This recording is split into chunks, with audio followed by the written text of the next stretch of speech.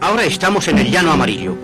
Los ketamis, en las márgenes de la carretera, esperan la llegada de los viajeros.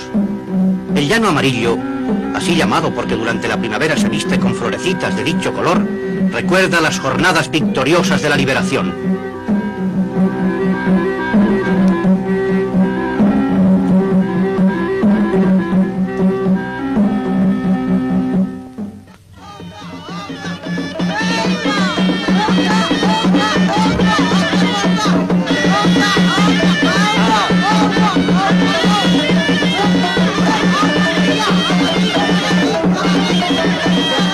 12 de julio de 1936 celebráronse maniobras militares, durante las cuales los jefes reafirmaron su voluntad inquebrantable de salvar a España del caos disolvente a que le había llevado la República Marxista. Y en este mismo tiempo, a presencia del alto comisario, tuvo lugar la segunda concentración, tan numerosa como la de Baptasa e igualmente encendida de entusiasmo.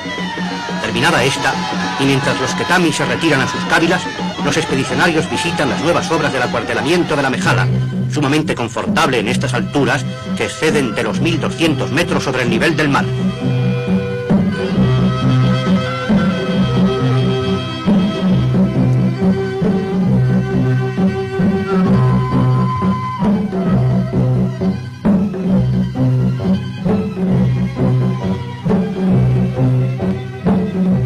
Son en Ketama los cedros, hijos de los del Líbano, que llenan 14.000 hectáreas de monte.